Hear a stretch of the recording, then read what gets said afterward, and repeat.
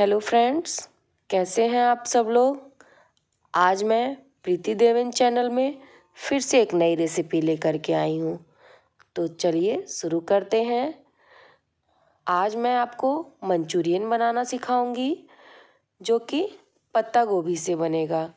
तो पत्ता गोभी से बना हुआ मंचूरियन खाने में बहुत टेस्टी होता है और उसे बनाने के लिए सबसे पहले पत्ता गोभी को ग्रेट करना होता है। जैसा कि मैं कर रही हूँ।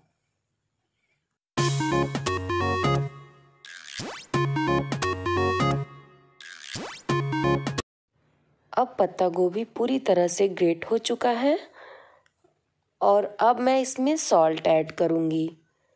तो ये आपको स्वाद के अनुसार ऐड करना है और सॉल्ट ऐड करने के बाद इसे अच्छी तरीके से मिक्स कर देना है।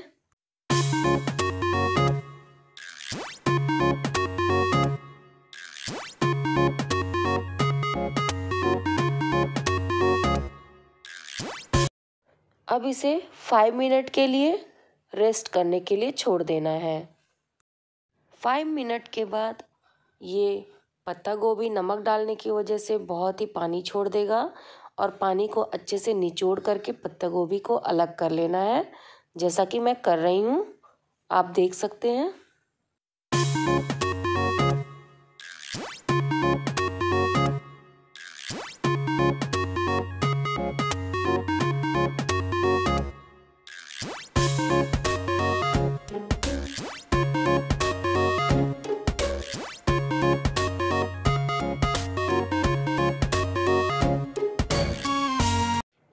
बचे हुए पत्ता गोभी को छन्नी से छान लेना है, क्योंकि वो हाथ से नहीं छन पाएगा। तो ये देखिए, मैं छन्नी से छान ली हूँ। इससे पानी अलग हो गया है और सारा पत्ता गोभी अच्छे से छन के निकल चुका है। इसे भी अच्छे से निचोड़ लूँगी। और ये पानी हमें फेंकना नहीं है, ये बाद में इसी में यूज़ हो जाएगा। इसे मैं किनारे रख देती हूँ। और अब हम इसमें सारी चीज़ें ऐड करेंगे। तो सबसे पहले हम इसमें कॉर्नफ्लोर ऐड करेंगे।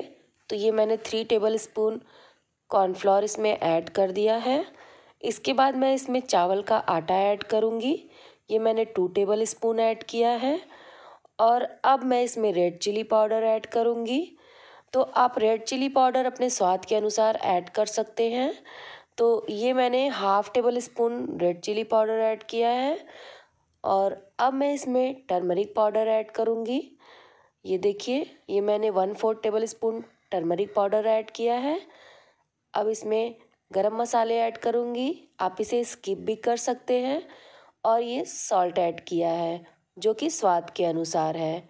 इन सारी चीज़ों को अच्छे से हम मिक्स कर लेंगे। और इसे मिक्स करने के लिए हमें हैंड का यूज़ करना होगा। तो इसे मसलते हुए अच्छे से हमें मिक्स कर लेना है।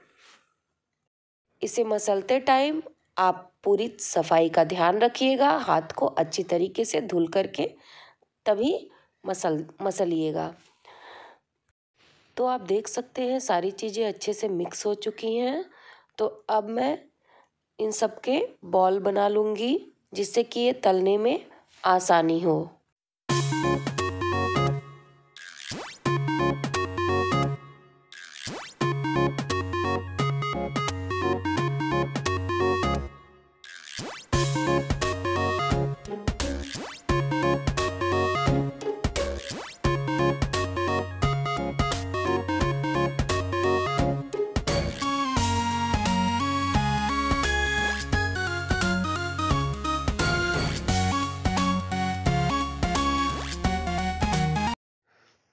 फ्रेंड्स बॉल बन के तैयार हो गए हैं।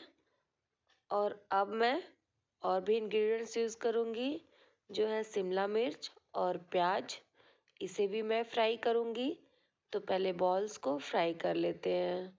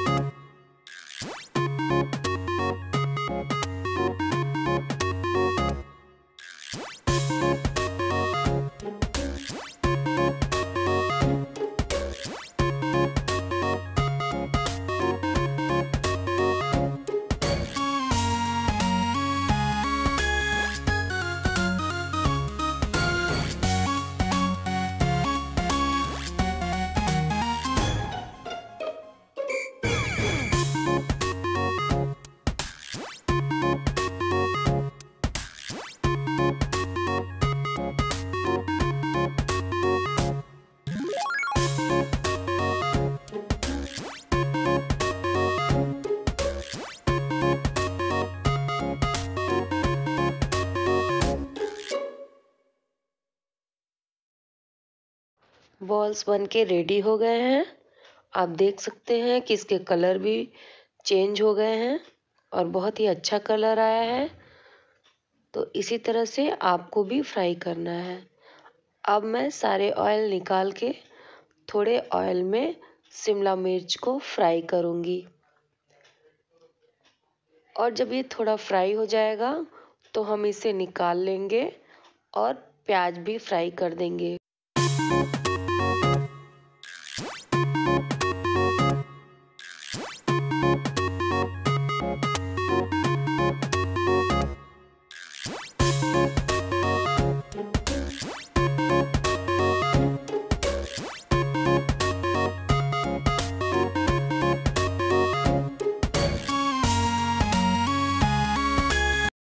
फ्रेंड्स, प्याज फ्राई हो गए हैं। अब मैं थोड़ा तेल डाल करके ग्रीन चिली, अदरक, लहसुन का पेस्ट डाल के अच्छे से भून लूँगी।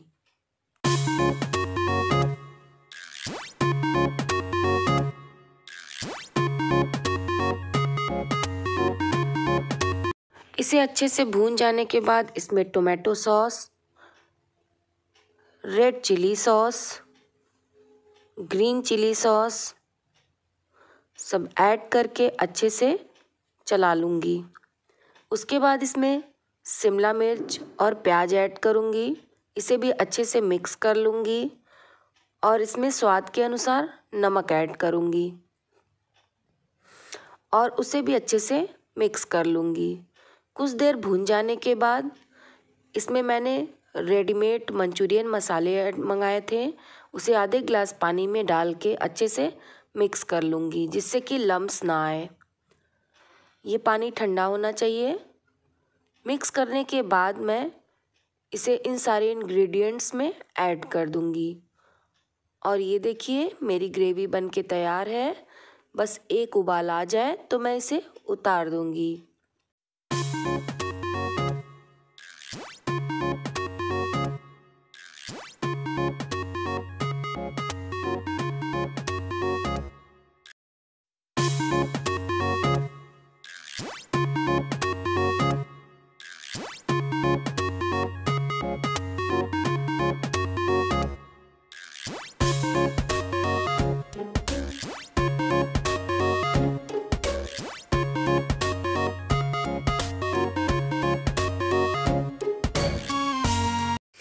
फ्रेंड्स, हमारी ग्रेवी बन के तैयार है, इसमें उबाल आ चुके हैं।